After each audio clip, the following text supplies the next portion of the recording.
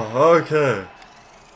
So I just did this just to be able to get the um, perfect score on this song for medium difficulty.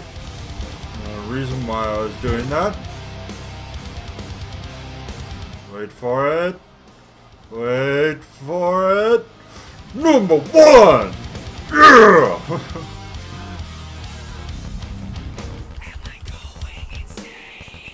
Out of the top 33. Alright. Thank you everybody for watching. I hope you enjoyed this. If you did, hit the like button. If not, well, I'm sorry. Um, and subscribe to follow me for more score attack and also for my 30 day advent or 60 day adventure on learning guitar. Again, thank you everybody for watching and I'll see you guys in the next video.